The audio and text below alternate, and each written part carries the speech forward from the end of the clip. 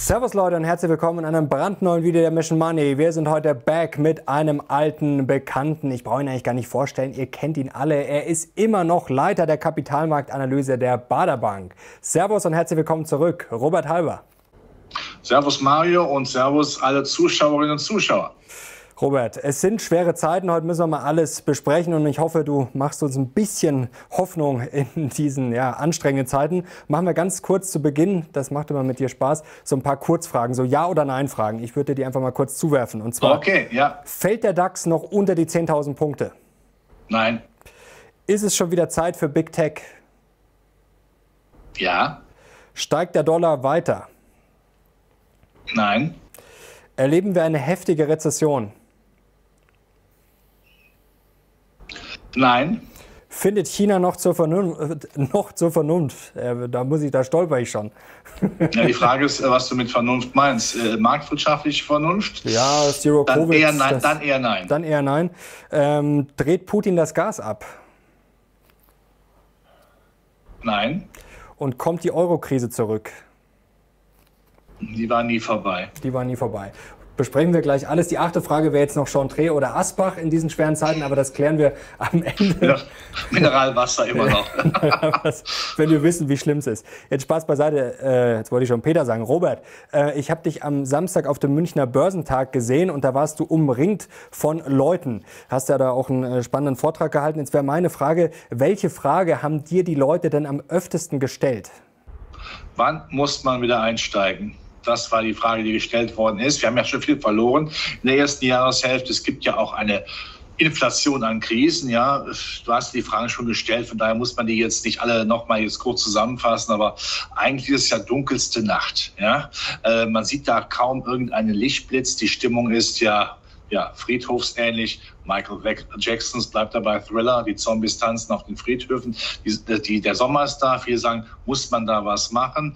Ja, das ist dann halt sehr unangenehm. Da fragt man, wann ist das Elend denn vorbei? Aber, und da bin ich fest davon überzeugt, wir werden auch morgen übermorgen keine Baumrinde fressen müssen. Aber jetzt hast du gesagt, äh, wann man wieder einsteigt. Das impliziert ja, dass alle schon oder viele zumindest, die äh, mit denen du gesprochen hast, eher schon ausgestiegen sind, oder? Es sind viele draußen, ja. Sicherlich ist ja eher dann eine Privatkundenveranstaltung, also mit, mit den Anlegern, also jetzt nicht den, den, den ich sag mal, den, den großen Kapitalanlagegesellschaften. Ähm, also ich habe Eindruck, dass viele Private gar nicht so stark verkauft haben. Das waren die ganz Großen, die verkauft haben, die ja teilweise, wenn man Richtung Amerika schaut, äh, eine eine aktive Aktienquote von 20 Prozent, 25 Prozent haben. Das muss man sich auf der Zunge zergehen lassen. Das ist ja kurz vor Weltuntergang, was wir hier haben, was mhm. normalerweise 80 Prozent da ist. Also die Großen sind relativ stark draußen. Ich hatte den Eindruck, der eine andere äh, auf dem Börsentag in München, der wartet jetzt vielleicht noch mal eine Gegenbewegung nach oben ab und dann gehen sie vielleicht noch mal raus. Aber das ist äh, relativ unsicher. Man kennt das ja, äh, wenn die Gegenbewegung kommt, die Großen dann ihre Short-Position dann räumen, äh, dann geht der Markt nach oben und da sagt man, kann es sein, dass wir so viel Negatives gesehen haben, dass man sagen muss, Leute, also tiefer geht es jetzt nicht mehr, schlimmer geht es nimmer. Jetzt ist ja die Frage, also die Stimmung, die war jetzt schon natürlich seit Wochen, Monaten schlecht. Das hat zwischendurch auch nicht viel geholfen. Da ging es noch weiter runter. Wobei wir müssen uns jetzt auch nicht verrückt machen. Der DAX ist jetzt, während wir das Interview führen, hat sich wieder ein bisschen erholt, ist sogar über die 13.000 Punkte gestiegen. Also wir sind jetzt noch weg vom totalen Weltuntergang. Aber jetzt ist die Frage, du hast es gerade schon schön erklärt, bei den Großen sind viele an der Seitenlinie. Die sind wirklich relativ wenig historisch tief investiert. Ähm, also man würde eigentlich sagen, die Stimmung ist schlecht. Eigentlich kann es gar nicht weiter runtergehen.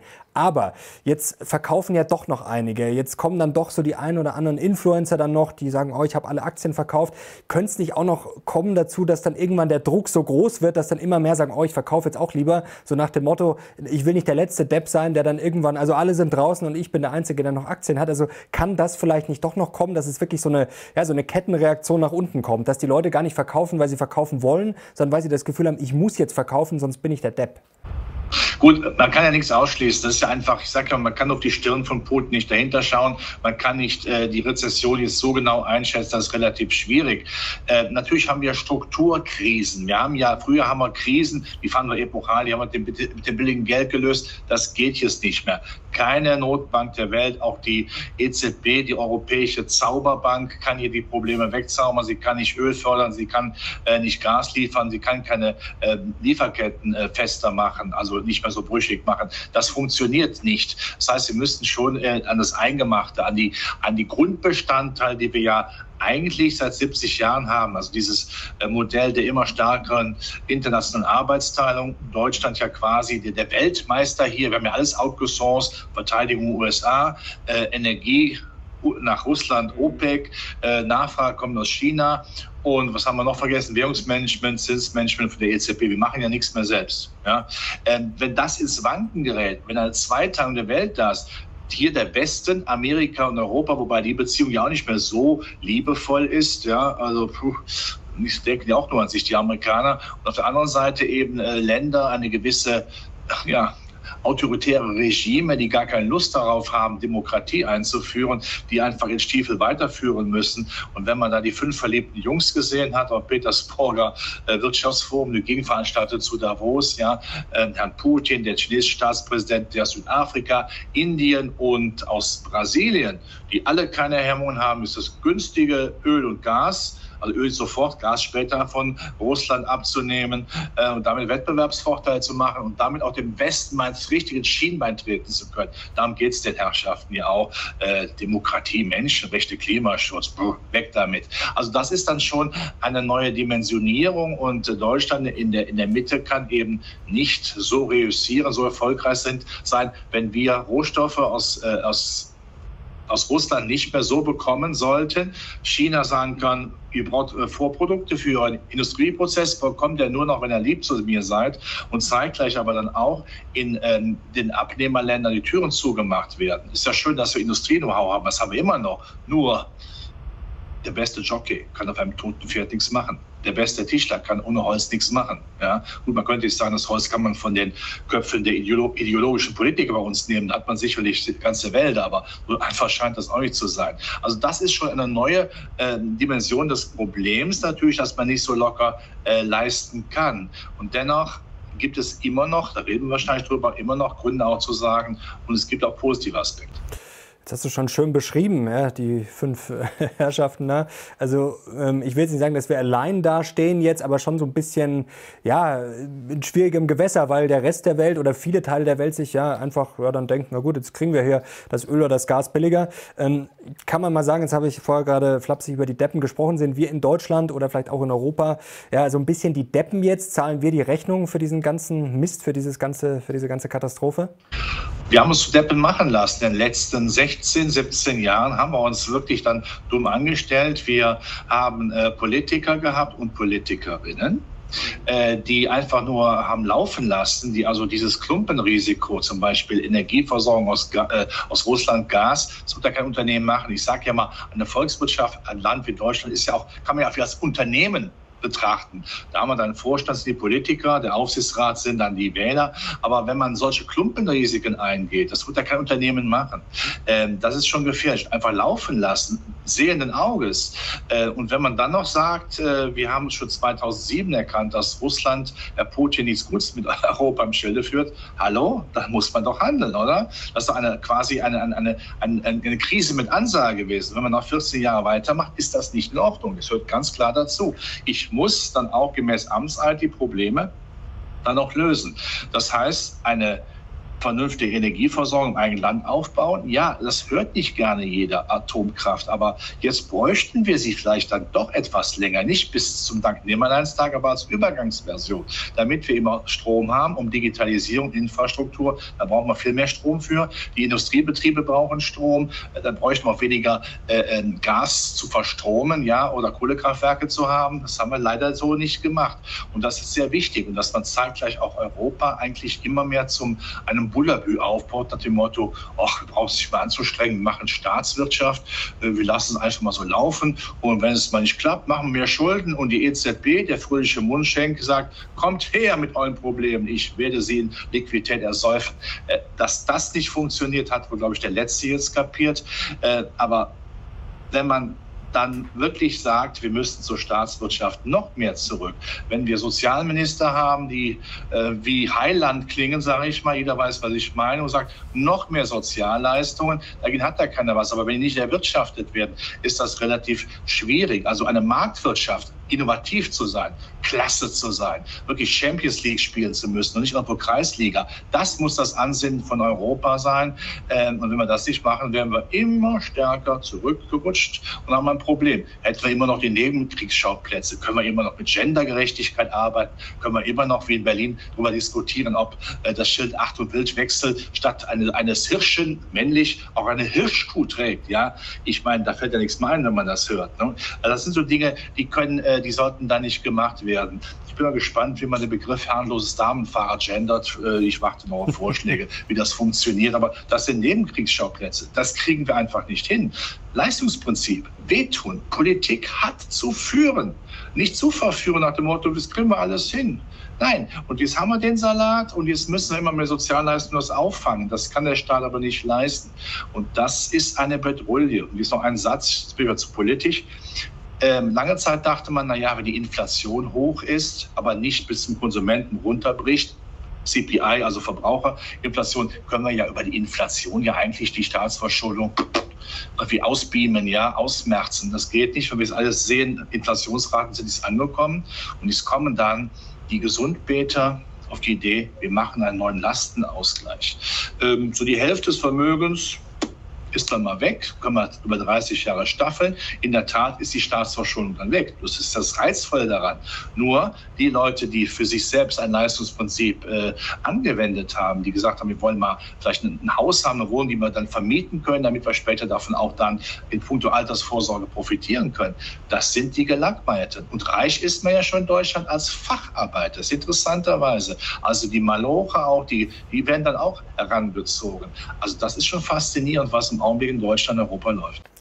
Jetzt hast du gerade, ja, ich will nicht sagen düsteres Bild gemalt, aber uns äh, schon ja, nicht gerade Hoffnung gemacht, gerade mit der Gasabhängigkeit, das hast du auch ganz klar kritisiert. Aber du hast vorher auch gesagt, Putin wird das Gas nicht abdrehen. Also glaubst du, dass es dann doch nicht die Vollkatastrophe gibt? Also, also ich bin der Meinung, Putin, äh, viele sagen ja, äh, er wäre nicht Herr seiner Sinne. Nein, der ist Herr seiner Sinne, er weiß genau, was er tut. Schachspieler. Ähm, wenn man das mal durchspielt, natürlich, wenn er jetzt sagt, die bekommen kein Gas mehr oder verschiedene Spielarten. Die bekommt nur Gas über äh, die, die Pipeline 2, was ja dann ein riesiger Glaubwürdigkeitsverlust ja für den Westen wäre, wer sich darauf einstellen will. Können wir nicht machen.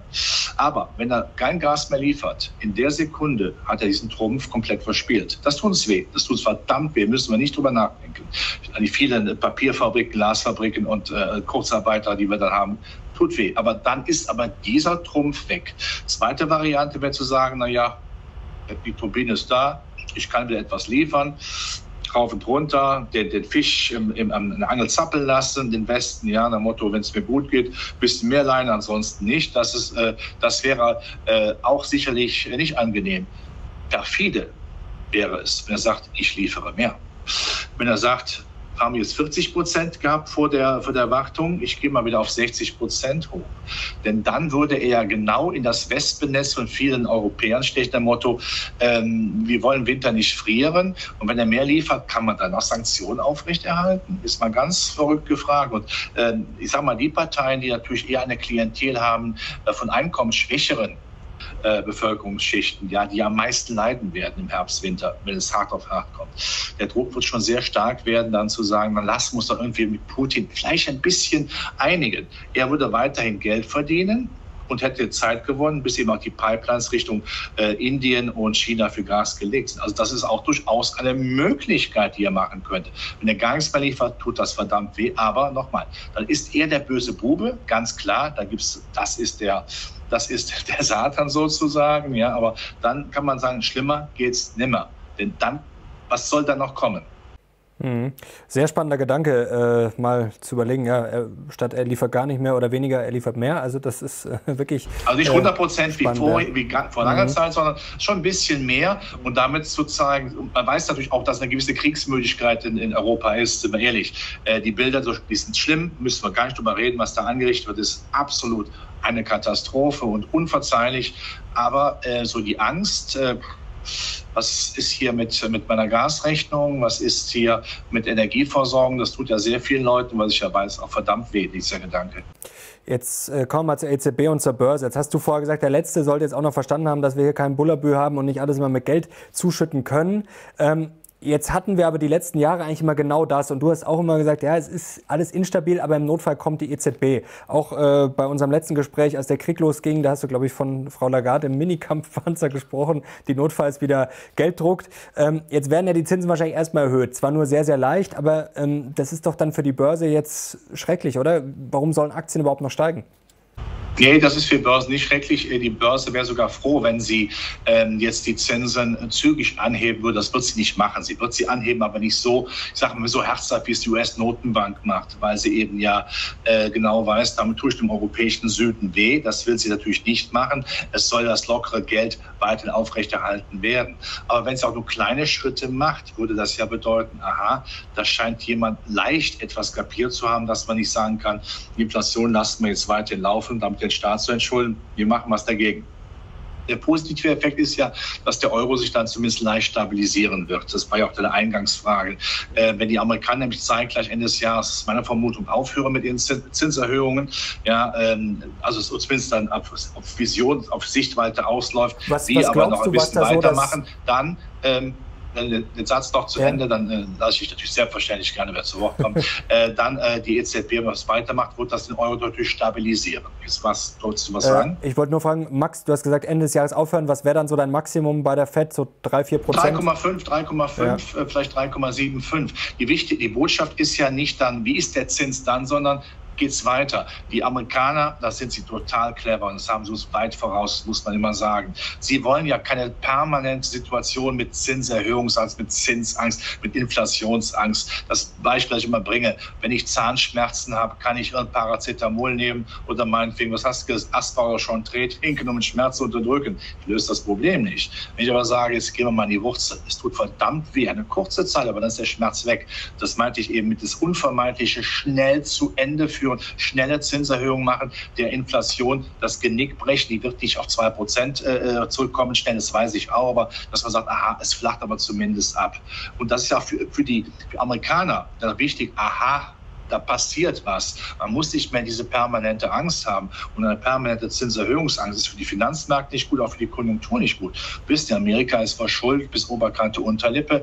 Ähm, da tut es schon richtig weh. Äh, ich habe ja Freunde in Amerika, die, die, sagen, es tut schon weh, wenn man sieht, wie die Bauzinsen nach oben explodiert sind. Ja, äh, Das ist schon sehr unangenehm, wenn man ja auf Kredit lebt. Und die leben ja auf Kredit. Mit Beginn des College-Besuches äh, nimmt ja jeder 16-jährige Kredit auf, der dann im Extrem Extremfall gar nicht mehr zurückzahlen kann. Also dieses Kredit, diese Kredit auf, dieser Kreditbau, ja, dieser, Ho dieser Hochhaus, wie, Hochhausbau wie in Manhattan, ähm, das funktioniert natürlich nicht. Wenn die Zinsen lange, lange, lange nur steigen, dann bricht ja diese, äh, diese Pyramide in sich zusammen. Also schnell durch. Das wird eine EZB so nicht machen. Sie wird sporadisch etwas machen. Aber wenn die Meldung kommt, wir machen in Amerika oder klar ist, wir werden nicht mehr so viel machen, wird der Euro dann etwas stärker. Nur, das hilft nur kurzfristig, Pyrrhus-Sieg, wenn wir längerfristig die äh, Zukunftsfähigkeit von Europa arbeiten. Ja? Was können wir? Wir können unseren Wohlstand sichern. Was verkaufen wir der Welt? Wie beglücken wir die Welt? Und wir sagen, nö, wir machen ein Industriemuseum. Dann kommen dann die Chinesen, Amerikaner sagen, das war früher mal der Nabel der Industriewelt. Das ist zu wenig. Und wenn das passiert, wird der Euro auch in der längerfristig sehr schwach sein. Davon abgesehen, wenn die Wirtschaft nicht läuft, haben wir irgendwann auch ein Demokratieproblem. Wir kommen gleich noch äh, zur ja, Handelsbilanz, die ja mittlerweile auch ein bisschen anders aussieht. Da sprechen wir gleich noch drüber. Ähm, jetzt hat sich ja ein Narrativ rausgebildet, jetzt haben wir gerade schon über die Zinsen gesprochen, nach dem Motto, ich vereinfache jetzt mal ganz stark, Aktien können so lange nicht steigen, äh, bis die FED quasi fertig ist, die Zinsen anzuheben. Eigentlich wäre es ja jetzt ganz einfach, ähm, nach dem Motto, ah, ich warte jetzt bis Jahresende, bis 3,5, vielleicht 4 Prozent ähm, und dann gehe ich wieder rein und dann steigt es wieder. Ähm, das Problem ist nur, solche Pläne gehen an der Börse meistens schief, oder? Ja, es geht nicht um äh, die, äh, die, Realist die reale Zinspolitik, es sind die Zinserwartungen. Wenn die Finanzmärkte ja gucken, was erwarten wir bis Ende des Jahres, Zinserhöhung, sind wir bei 3,5. Im nächsten Jahr wird das schon teilweise bei der Zinssenkung erwartet. Das ist das Schöne. Wenn es wirklich Amerika in die Rezession geht, ja, durch diese starken Zinserhöhungen, kann ich ja im nächsten Jahr mit Zinssenkungen genau dort wieder ansetzen, was ja äh, der Lustgewinn der Amerikaner ist, neue Kredite zu dann günstigeren Konditionen anbieten. Dann haue ich ja wieder die Konjunktur nach oben weg, weil zwei Drittel der Wirtschaftsleistung ja auf den Konsum basiert. Das funktioniert ja und das ist clever gemacht. Ich glaube, Herr Paul, der US-Notenbankchef, hat auch lange Monate, natürlich auch jeden Tag war er wahrscheinlich in allen Kirchen von Washington, wo die FED ja ansässig ist, hat gebetet, lasst die Inflation nur transitorisch sein. Leider war es das nicht. Ja, aber jetzt sagt er, jetzt haue ich ihr halt von hinten auf den Kopf, mache sie platt, ähm, brich ihr das Genick, zumindest, dass die deutlich herunterkommt, und dann habe ich ja wieder Muße, etwas zu machen.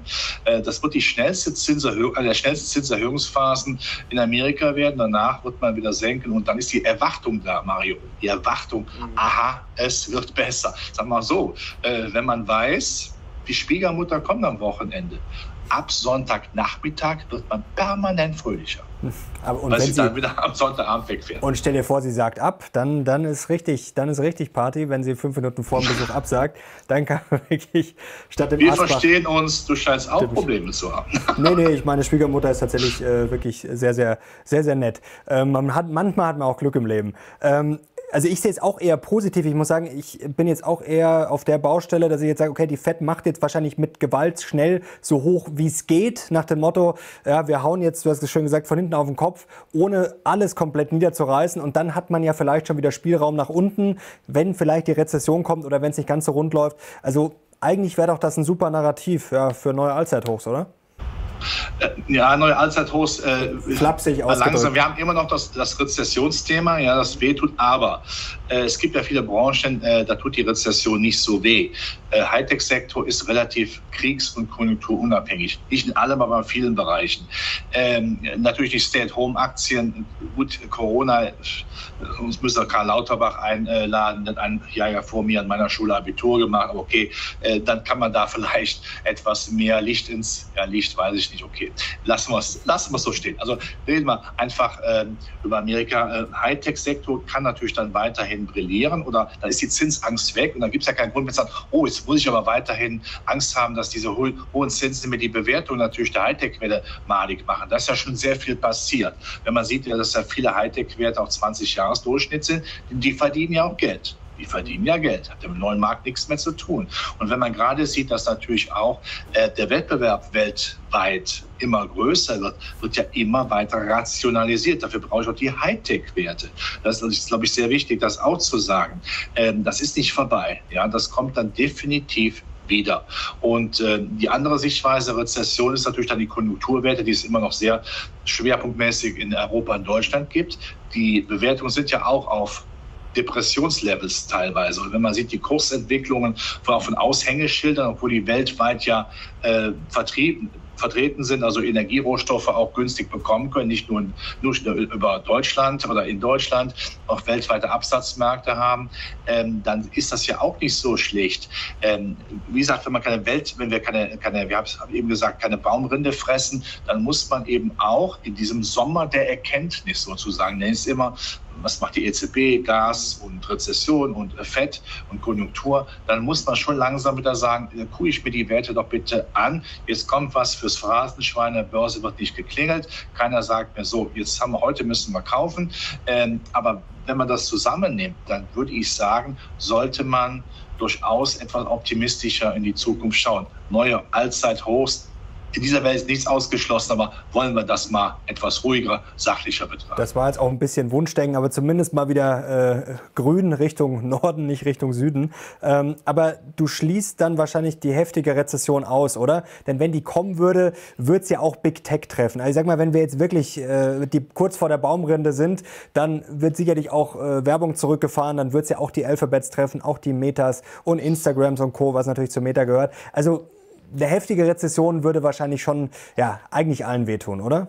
Ja, ich frage, was eine heftige Rezession ist. Wenn wir natürlich sowas kriegen wie, wie es weiß ich, wie damals nach der Finanzkrise ähm, oder aber ähm, Corona nur, jetzt sind wir wieder beim Thema. Kreis schließt sich wieder. Wenn es so heftig kommt mit der Rezession, was macht dann die Inflation? was machen dann die Notenbanken? Runter. Nach dem Motto, wenn wir Inflation bekämpft haben, müssten wir eine zu geringe Inflation auch bekämpfen. Das, die, das Stück Marketing, die zwei Sätze, die schreibt jeder Dreijährige sofort. Ja? Das ist auch wichtig. Und wenn man in die Vergangenheit schaut, Rezession ist ein Thema, klar für die Konjunkturwerte, aber ähm, die besten Börsenphasen waren nicht die, die Phasen, wo die Konjunktur gelaufen ist wie geschnitten Brot. Es waren die Phasen, wo die Hoffnung da war, es wird besser, zum Beispiel mit dem billigen Geld und mit dem Ausmerzen der größten Alternativanlageform des, Zins, äh, des Zinspapiers oder der Zinspapiere. Die werden ja nicht attraktiver. Ähm, die, auch in Amerika werden die ja nach äh, Inflation negative Realzinsen haben. Europa sowieso. Das ist ja keine alternative Form, wo wir Hurra schreiben müssen. Da kann man mal Geld parken eine gewisse Zeit, aber eben doch nicht längerfristig. Also von daher habe ich diese Angst dann eben nicht. Also dann die Frage nochmal zur Rezession in Amerika. Ja, nächsten Jahr, eher nächsten Jahres, vielleicht beginnend mit Ende des Jahres, noch ist der Arbeitsmarkt ja stabil. Im Augenblick kommt ja kommt ja, äh, kommen ja auf 1,6, äh, 1,7 freie Stellen, äh, kommt ein Bewerber. Also das sieht immer noch gut aus, war aber schon Nummer zwei. Also es verschlechtert sich. Ähm, aber dann, wie gesagt, kann ja die, die, nächstes Jahr die FED dann wieder mit Zinssenkung wieder die Gegenbewegung einleiten. Und das ist für den Aktienmarkt dann sehr gut man schaut ja in die Zukunft, man eskumptiert ja die Zukunft. Äh, sera, sera. Kommen wir wieder zum alten Spielchen. Ich habe mir äh, notiert zum alten Narrativ, retten uns die Krisen wieder den Hintern. Wir kennen das ja von früher. Eigentlich hatten wir ständig Krise, also erst Euro-Krise, es war immer irgendwas, was die Zinsen ja, im Keller gehalten hat. Jetzt drohende Rezession, es reden schon wieder viele über die Euro-Krise. Du hast gesagt, sie war nie weg. Der Dollar ist auch schon sehr stark, also im Zweifel wollen die Amerikaner jetzt auch nicht wahrscheinlich die Zinsen auf 6, 7, 8 Prozent hochjagen. Also retten uns die Krisen, also zumindest uns Börsianern, äh, wieder den Hintern? Ja, weil man auch äh, unterscheiden muss zwischen dem Standort Deutschland, der natürlich seine Probleme hat und haben wird keine Frage. Also, ähm, also der Standort ist nicht attraktiv, wir müssen aber davon die Aktienmärkte äh, trennen. Äh, das Beispiel der großen DAX-Konzerne, die sind weltweit tätig, die sind auf die Niederungen der deutschen Politik nicht mehr angewiesen oder Europas. Die können weltweit machen. Und das haben wir doch letztes Mal schon besprochen, wenn eine BSF als Beispiel in Indien nach mehr macht, kommen die natürlich auch viel günstiger in Saudi-Arabien an. Ähm, die Energie, das kann man Unternehmen auch grundsätzlich nicht, äh, äh, kann man kann nicht böse sein. Ähm, sie müssen ja auch überleben und wenn die Konkurrenz, dann die indische Konkurrenz billiger produzieren kann, möchte man das natürlich als BSF als Beispiel, andere Werte kann man genauso nennen, auch machen. Und äh, davon würde ich eher sagen, dass eben der, die DAX-Wert, die großen Werte zuerst ein gewisses Prä haben und dann die mittelständische Wirtschaft nachkommt, weil die haben natürlich hängen natürlich viel mehr am Fliegerfänger der Gasversorgung hier an Russland. Das muss man sehr klar erkennen, weil die ja immer noch sehr viele Geschäfte auch mit Russland früher gemacht haben, bevor jetzt die Sanktionen ja alles Richtung Null gefahren haben, bis auf pharmazeutische Produkte.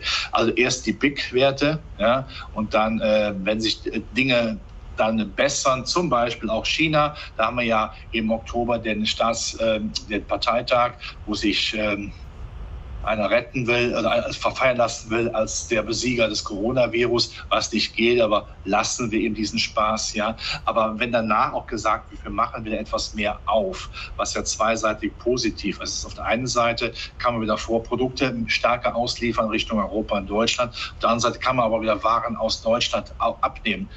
Längerfristig diese Abhängigkeit gefällt mir nicht, klar, aber jetzt mal auf mittelfristiger Sicht ist das schon da wieder positiv. Es gibt ja Firmen in Deutschland, äh, ich war ganz erstaunt, die haben ja Auftragsüberhänge äh, von ein, anderthalb Jahren. Das heißt, sie brauchen keinen neuen Auftrag mehr. Die sind anderthalb Jahre glücklich mit dem, was sie abarbeiten können. Nur sie müssen es abarbeiten können. Und das wäre natürlich dann, wenn China ein bisschen aufmacht, schon sehr, sehr wichtig. Und wenn dann ist vielleicht die geringste Wahrscheinlichkeit, aber wir müssen ja äh, trotzdem durchspielen, haben wir auch gemacht, Putin sogar ein bisschen mehr liefern würde, ist jetzt nicht das Haupt, äh, die Hauptwahrscheinlichkeit, aber dann, äh, lieber Mario, dann gehen wir alle zu einer Volksbank, Sparkasse und Bank, lassen uns den Dispo erhöhen und kaufen Aktien. also du würdest momentan, um es mal zusammenzufassen, sagen, im Zweifel kaufen oder sogar ganz Im sicher zwei, kaufen? Im, also zwei, zwei Teile, also wie gesagt, ich, die regelmäßigen Aktiensparpläne mhm. auf jeden Fall machen, unbedingt. Also ich, ich habe Freunde, die haben selbst die äh, gecancelt. Das, das verstehe ich überhaupt nicht. Ihr sagt mir mal, Anfang Januar haben wir gesagt, viel zu teuer und jetzt sagt er nicht. Ja, aber es geht alles kaputt. Sag ich, nein, auch diese Krise werden wir, werden wir überleben die größeren Werte, also Einzeltitel zu kaufen, die Hightech-Werte in Amerika, ja, da würde ich schon, äh, das ist jetzt ein bisschen mutig, aber schon jetzt im Sommer der Erkenntnis, ich wiederhole mich, bin auch schon älterer Herr, äh, aber dass man dann sagt, ich suche mir da schon mal die Titel aus und wenn ich Mallorca äh, dann äh, liegen sollte, wenn ich überhaupt hinkomme, weil die Flughäfen ja dicht sind, ähm, kann ich mir, oder wenn ich nicht ankomme, kann ich nach Hause fahren und mich stärker dann um die Aktien kümmern. Nein, das war böse, aber jetzt, ich gönne jedem natürlich seinen Urlaub. Ähm, aber dass man sich die, auch die Konjunkturwerte mal anschaut und sagt, ist jetzt vorbei, also ist es vorbei, also äh, wenn es nicht vorbei ist, was meine Meinung ist, würde ich mir die schon langsam ein bisschen dann äh, ins Depot ziehen ist ein Risiko, sage ich ganz klar, muss auch nicht jetzt oder morgen damit anfangen, äh, aber Sichtweise schon. Also siehst du auch eher dann vielleicht schon wieder den Wechsel, wenn es jetzt eine Erholung geben sollte, dann auf Tech, also jetzt nicht unbedingt alles auf Value und nicht alles auf Krise ausrichten? Äh, nein, also wenn, äh, ich will was sagen, also das läuft beides relativ homogen. Hightech brauche ich, weil die Zinsachse dann äh, immer stärker weggeht in Amerika, äh, eine gewisse ja, ich würde nicht sagen, dass es Defensivqualitäten sind, aber unabhängiger von der, von der Konjunktur. Dann eben das Argument, das wir besprochen haben, ich muss ja rationalisieren. Und die Konjunkturwerte, die ja nur darauf warten, dass sie ihre Fabriken wieder in Betrieb setzen können. Ja? Dass nicht nur in Verwaltung rumgetanzt wird, wo die Aufträge sich stapeln, sondern auch wieder Ne, wir steigern das Bruttosozialprodukt gesungen werden kann.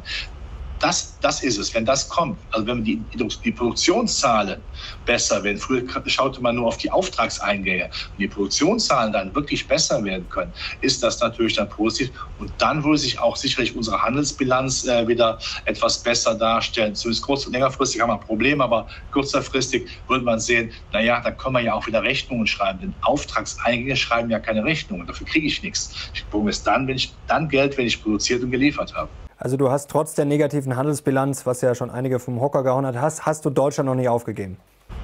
Äh, nein, nicht, aber nur, äh, wir können jetzt nicht so weitermachen. Wenn wir wieder weiter Heile, Heile Gänschen singen und Kumbaya, my Lord singen, haben wir ein ernstes Problem. Und der Handelsplatzüberschuss kommt ja zustande auch, weil wir natürlich die Rohstoffe teuer einkaufen und natürlich im Augenblick teilweise gar nicht ausliefern können. Das ist ja auch ein Grund. Aber es ist ein Alarmzeichen, weil unser Handelsplatzüberschuss ist auch ein Qualitätszeichen unserer Produkte die offensichtlich so gut sind, dass man sie immer noch gerne kauft. Aber wichtig ist natürlich, dass die Unternehmung Deutschland, wir sprachen davon, sagt, wenn wir das Blockbuster-Produkt Verbrennermotor aufgeben, kaputt schlagen sozusagen, sollte man relativ zügig sagen, was ist denn der Nachfolger, die Alternative?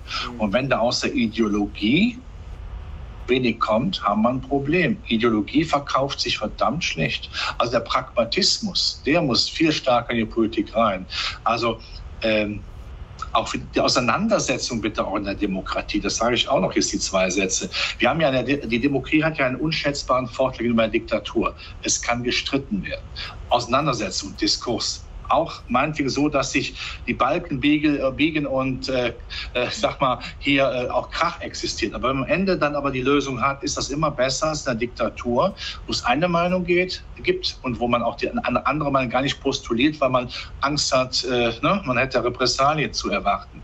Wenn man aber jetzt in Deutschland meint, wir lassen eigentlich nur noch staatlich als immer mehr die eine heile Gutmensch-Mentalität zu, moralisch einwandfrei, absolut gendergerecht und ohne jeden Zweifel, dann haben wir ein Problem. Dann ist der Diskurs nämlich auseinandergesetzt. Und ich als alter, alter Herr kann ja sagen, habe ich auch schon öfter gesagt, ist aber wichtig, eine Auseinandersetzung im Bundestag zwischen Franz Josef Strauß und Herbert Wehner früher hat die Ränder gar nicht existent gemacht. Das sollte man bitte auch nicht vergessen. Also Auseinandersetzung ist was Gutes. Wir müssten nicht alle sagen, ja, alles ist wunderbar, wir folgen der Hypermoral. Das ist falsch. Man muss auch mal die Querdenker haben mit Ecken und Kanten. Die sorgen nämlich auch für das Salz in der Suppe. Und die verbieten uns die Ballermann-Hits nicht. Das ist nämlich im Sommer der Erkenntnis ja bisher für viele die schlimmste Überraschung. Das ist unser Problem. Auch, das ist ganz Peter, schlimm, dass gewisse Schlager nicht gesungen ja. werden können. Und natürlich, wenn äh, Herr Lindner eine teure Hochzeit feiert, das sind ja unsere Probleme. Über die müssen wir sprechen. Das ist unheimlich wichtig in Deutschland offensichtlich. Es ist faszinierend, ja. ja. Ich komme aus der Landwirtschaft gebürtig. Was macht man, wenn der Stall dreckig ist? Mistgabel ausmisten. Das, das macht Politik nicht gerne wir haben ja in Deutschland eine Dreierkoalition. Ich meine, die werden ja nie Liebe füreinander finden. Ja, ich sage die ein, zwei sicherlich, aber äh, die FDP äh, ist ja, ja, ist eigentlich der Rottweiler in dieser Koalition. Den mag man ja nicht, äh, beißt zwar nicht so, äh, aber äh, das wird ja nie eine harmonische Bewegung sein, wo man auch konsequent sagt, jetzt werden die und die Entscheidungen getroffen. Wir sind an vielen Dingen mit Steuererhöhungen, mit, mit, mit, mit Atomkraft so auseinander. Äh, das wird relativ schwierig, da natürlich nicht nur den kleinsten gemeinsamen Nenner zu finden, aber wir brauchen die großen Würfe. Und wenn man Europa ja sieht, ich meine, Boris Johnson, ja, der schreibt demnächst seine Memoiren und hat mal Zeit, zum Friseur zu gehen, einen vernünftigen Haarschnitt zu bekommen. Ja, und Mario Draghi, ja gut, ich in, Amerika, äh, in Italien, ja, ich meine, da läuft ja auch nichts mehr. Was wird denn Italien? Neue Regierung wird ja wieder eine Vielparteienregierung sein. Da wird doch keiner richtige Reformen machen, dass man sagt, so, wir machen das ist einfach mal so.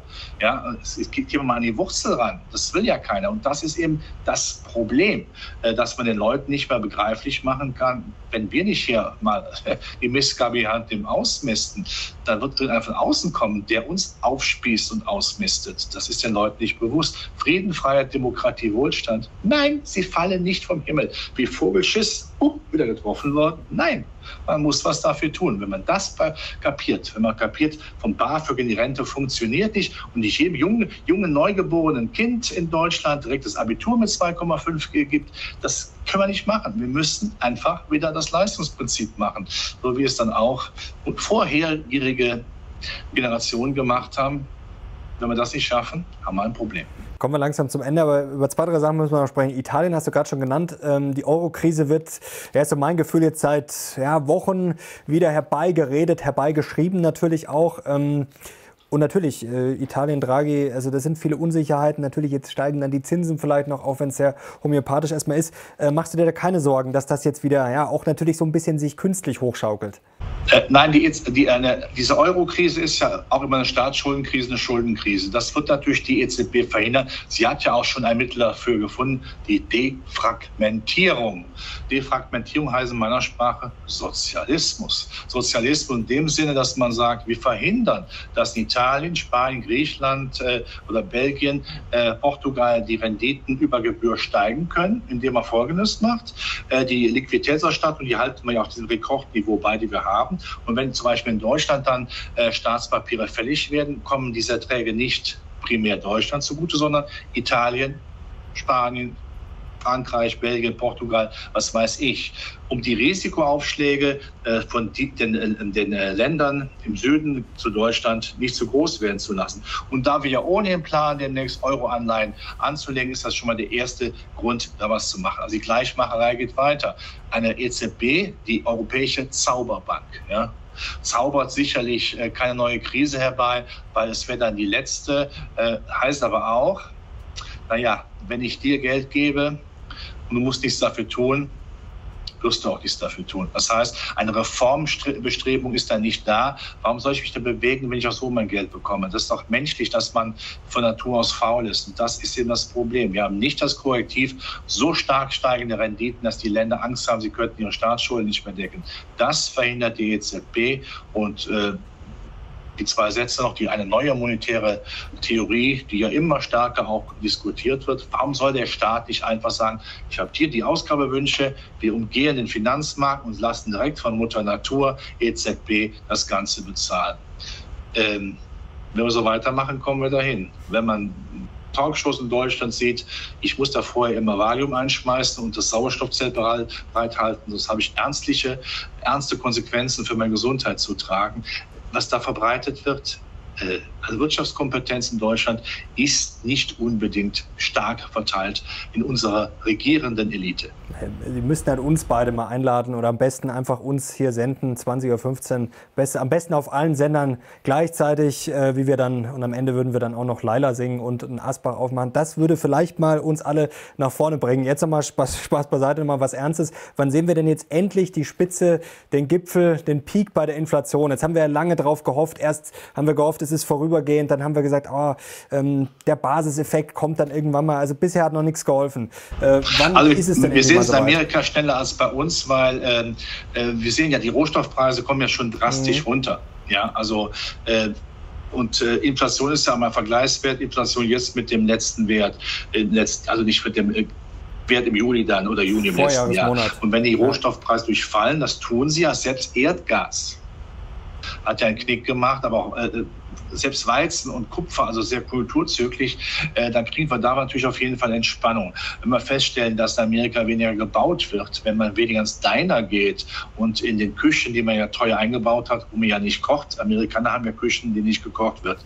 Das versteht auch kein Mensch, aber so ist es. Die werden auf einmal genutzt, da werden auf einmal Betriebsanleitungen gelesen. Okay, dann wird das relativ zügig kippen. Äh, in Europa etwas später, aber es wird auch in Europa noch kippen. Das wird jetzt kein gewaltiger Rückgang sein, relative Art. Absolut bleibt sowieso die Inflation sehr hoch, aber es wird dann kippen, einfach, dass die Niveau nicht zu halten ist. Und wenn man einfach mal äh, die Rohstoffpreise jetzt nicht aktuell, sind ja schon weit runtergekommen, nehmen wir die jetzt mal von, äh, von Ende Juni, wenn man die durchzieht bis, ich sage mal, Ende des Jahres, kriegen wir schon eine deutliche Entlastung auch von ähm, der Inflation. Und ich glaube nicht an die, äh, wie heißt es, an die Zweitrundeneffekte. Erstmal, diese Gehaltsforderung wird nicht umgesetzt.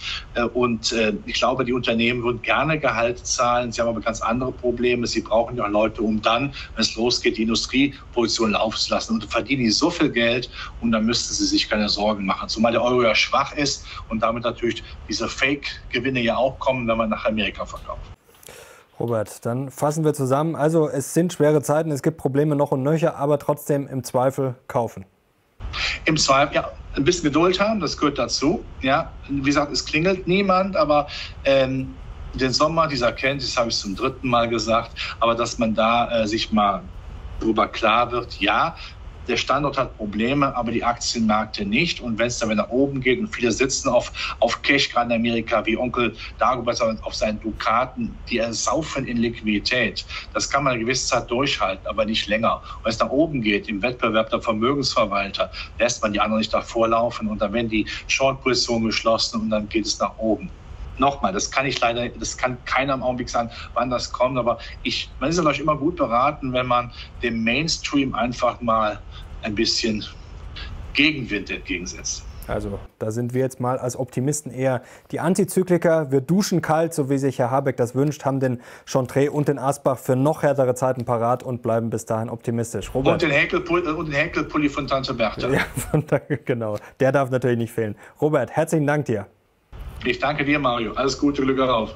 Danke dir auch und euch natürlich auch alles Gute und ich hoffe, euch hat es gefallen. Wir kriegen einen Daumen nach oben und schreibt doch gerne mal in die Kommentare. Ja, wir haben ja heute wieder alles besprochen und Robert hat ja wieder einiges rausgehauen. Danke dir, danke euch. Wir sind jetzt raus. Bis zum nächsten Mal. Ciao.